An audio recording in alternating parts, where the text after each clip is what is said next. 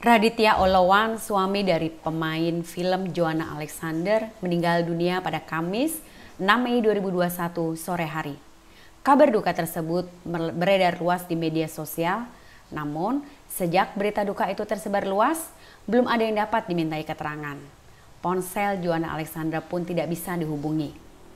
Kabar duka itu menyebutkan Raditya Olowan meninggal dunia setelah menjalani perawatan di rumah sakit pada Kamis pukul 18.13 waktu Indonesia bagian Barat. Sebelumnya, Joan Alexander berharap kesembuhan Raditya Oloan Panggabean. Saat ini, suami Joanna Alexandra sedang menjalani pengobatan di rumah sakit. Foto terakhir yang diunggah oleh Joanna bahkan menjelaskan bahwa suaminya sedang dirawat di ruang intensive care unit salah satu rumah sakit.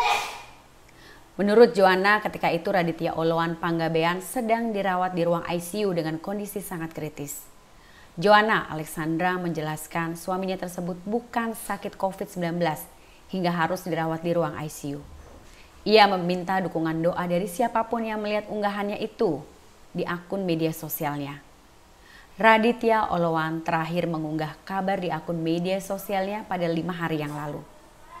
Ia menuliskan kisahnya ketika masuk ke ruang ICU rumah sakit.